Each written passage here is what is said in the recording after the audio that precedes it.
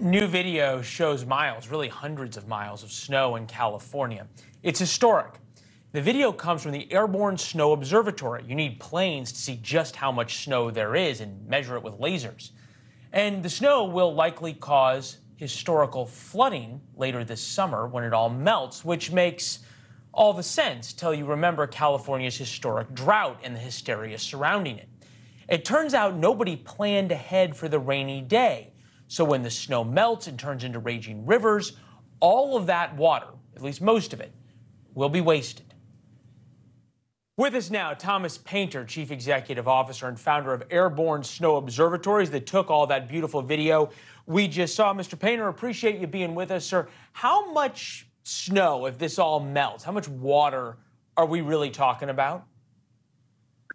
Well, so the the the numbers I like to give right now um, start out with an average year in the Sierra Nevada has about 18 and a half cubic kilometers of water. This year we have about 49 cubic kilometers of water.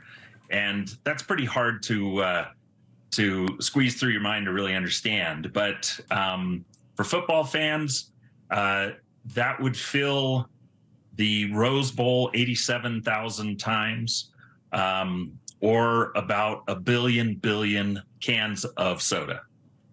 A billion so billion it, cans of soda. Okay, that's a, that's a lot of soda. I think we've yeah. heard about the droughts in California and in all of the coverage that's existed about it. And we've obviously seen the pictures of Lake Mead, Lake Powell, the dry California reservoirs, and the like.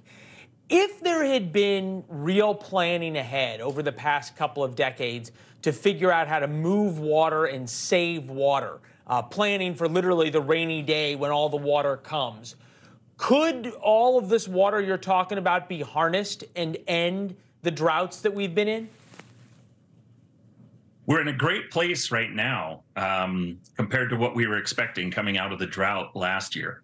Last year, we had the majority of our snowfall uh, at, in late December, peaking around January 1st, uh, which is several months early. And so this year, we didn't really think we were going to have such a monstrous year.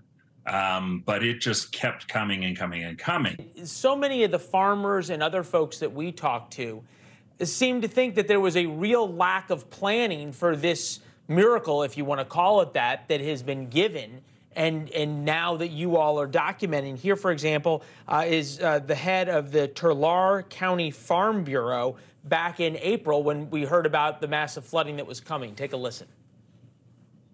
This is really about California state legislature and the state government failing to plan for our most vulnerable farm and rural communities in California. While we have episodes of drought that are very cyclical and predictable for years on end, we also knew that our flood control measures and our reservoirs were 40 to 50 plus years old. They could not handle this type of amazing rainfall and snowmelt. Fair criticism? Well, certainly infrastructure has been an issue, um, not only in California, but in the, the rest of the country. Um, for our part, the, the development of the remote sensing technologies for the snowpack are a critical component of developing that infrastructure and being able to, as as she indicated, the droughts and and large years are um, predictable to a degree that they are going to happen, but exactly how much water there's going to be is not necessarily predictable even within the year. So being able to have that component of the water infrastructure is absolutely important, and that derives from the science and technology developments. Yeah, it's it's wild what you guys have been able uh, to document flying over the Sierras, and the, the pictures that you guys have, have come up with are just stunning, beautiful. Uh, and we hope it's put to good use. Uh, I'd be ashamed to waste it all, I guess, as they would say. Mr. Painter, it's good to see you, sir. Thank you. Thanks very much. Thanks for watching. Go to newsnationnow.com to find News Nation on your television provider. And don't forget to subscribe. Click the red button to get more of News Nation's fact driven, unbiased coverage.